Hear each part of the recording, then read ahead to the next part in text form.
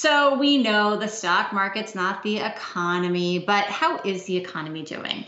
In Washington, D.C., we got a little bit of a glimpse uh, of that, and maybe the K shaped recovery that so many people are talking about. Maybe that case was sort of made today. We had Treasury Secretary Mnuchin and Fed Chair Jay Powell giving different takes, I would say, on where we are and where we are heading. Let's bring in Brian Cheung for the details on this. Is that fair, Brian? Different takes from these guys?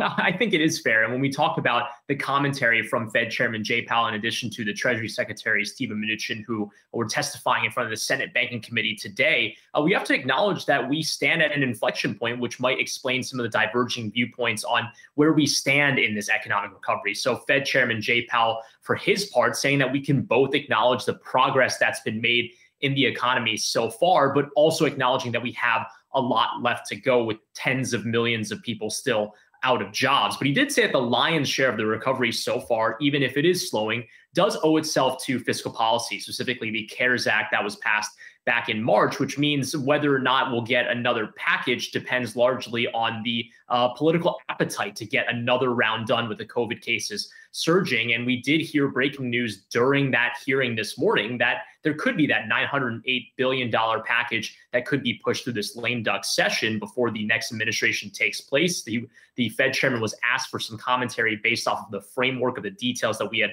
learned about early this morning, and he appeared to have an optimistic view of what that would look like. Here's what he told the Senate Banking Committee this morning.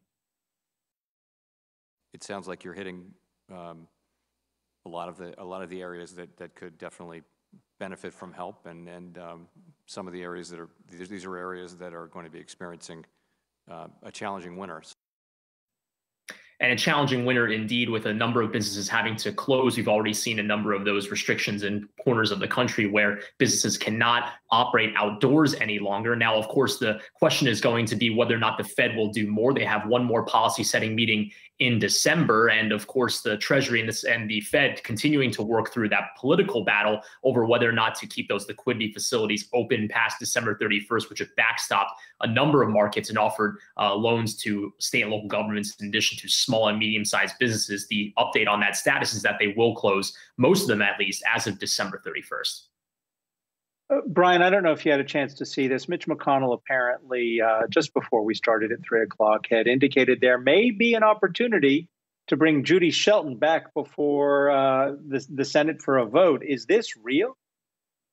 Well, as they say, Adam, I mean, it's never over until the fat lady sings. And in this case, the fat lady won't sing until inauguration of the Biden administration next year, which means that in theory, the nomination for Judy Shelton again President Trump's nominee to join the Federal Reserve, uh, actually won't die until that point in time. Now, of course, the numbers don't look very good, especially with Mark Kelly from Arizona, the Democrat, coming into office after that special election tomorrow. That would mean that he would replace the incumbent Republican, who is Martha McSally. That means that's one less seat that the GOP has to work with. Now, this is a major deal when you consider that there are already three Republicans that have stated their intention to vote against Judy Shelton, that being Mitt Romney of Utah, Susan Collins of Maine, in addition to Lamar Alexander of Tennessee. So the numbers likely aren't there, but of course, anything could happen. Recall, for example, that the Judy Shelton vote that happened last week was sunk because two Republicans couldn't be in the Senate chamber physically because they were quarantining for the coronavirus. Now, if it were the case that Democrats had to go through the same thing because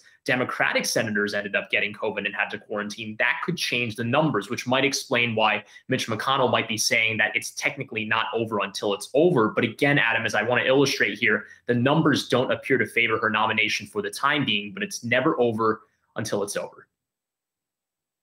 And that's going to do it for Brian Cheung. Your hit is over. Great to see you.